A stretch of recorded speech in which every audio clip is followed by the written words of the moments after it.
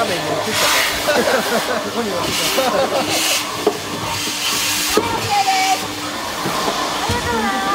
どうも行っちゃってないえ行った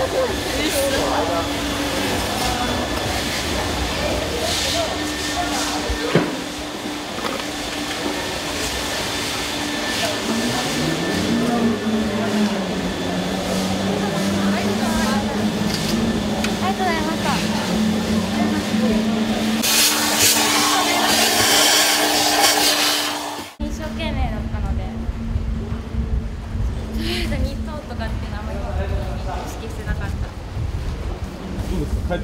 間が経って二度という実感湧いてきました？まあ実感。えー、3レースで2着の橋村選手です。お疲れ様でした。お疲れ様でした。今のあの率直なお気持ちはいかがでしょうとデビュー戦が終わったっていう実感がまだわからわからなくて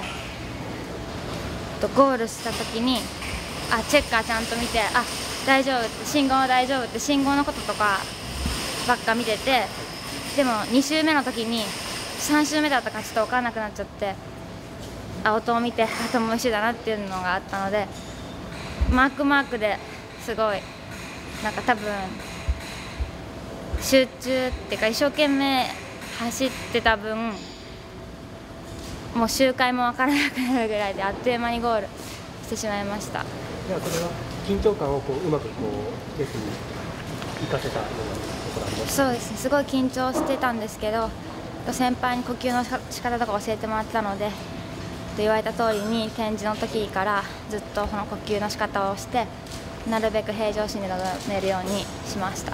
その呼吸の仕方以外にもこう何か言葉か何かで先輩にアドバイスいただいたりとかアドバイス着よりもとにかくスタートをしっかりいくようにそれだけ考えてデビュー節はスタートを意識してやるように言われたのでそのことばかり考えてたんですけど結果的にはスタートが先輩に言われた通りにできなかったのでやっぱりそれが一番悔しいです。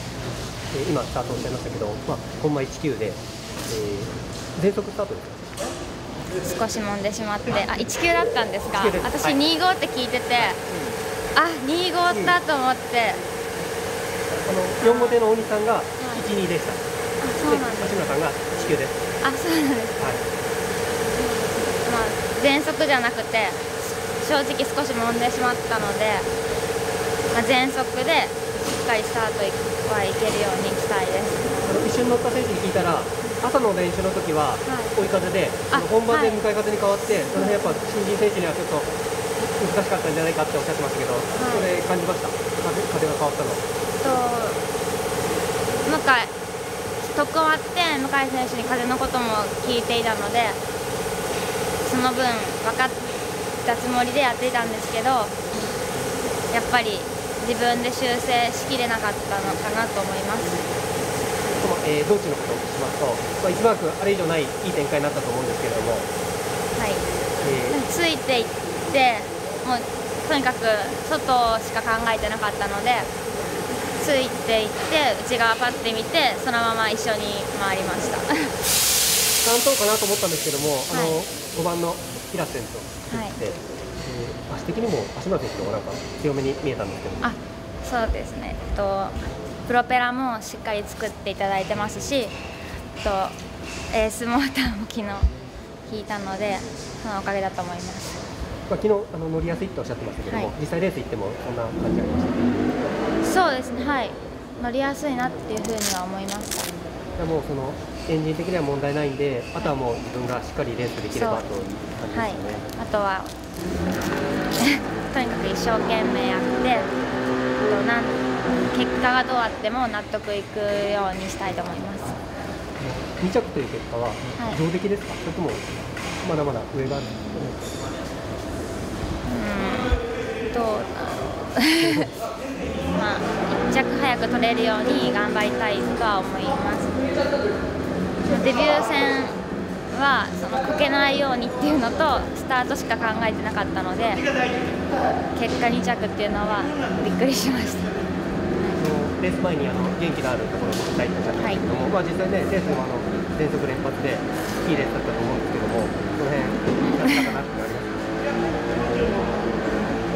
そうです、まあ、外ばっかりしか考えてなかったんですけどもっと練習してもっとスピードをつけた旋回ができるようにしたいと思います。あと5日間あるんですけども、はい。あのズバリお聞きしますけど、1着取れそうですか？まだわからないですけど1着取れるように頑張ります。後ろに感謝って書かれてますあはい。これは あすいません。もう着替えちゃいました。えっとあの感謝の T シャツは同期で作った T シャツです。はい、あそうです。学生の皆さん、はい。29人がみんな着てる T シャツ。です。はい、そうです。みんな29人が、そう感謝の気持ちは、えっと、1年間学校でされてくださった教官方や家族への気持ちと、あと一緒に生活した同期のへの感謝の気持ちを込めて作りました。あと5日間ありますんで、はい。カメラの方のお客さんに向かってはい、お願いします。えっと、あと5日間あるんですけど明日からも、えっと、一生懸命走って、えっと、3着以内に入れるように頑張ります応援よろしくお願いいたしますあのぜひ1着期待してあますんで、はい頑張ります頑張ってください。はい、ありがとうございましたちょっと髪の毛が。こっちもお願いしますす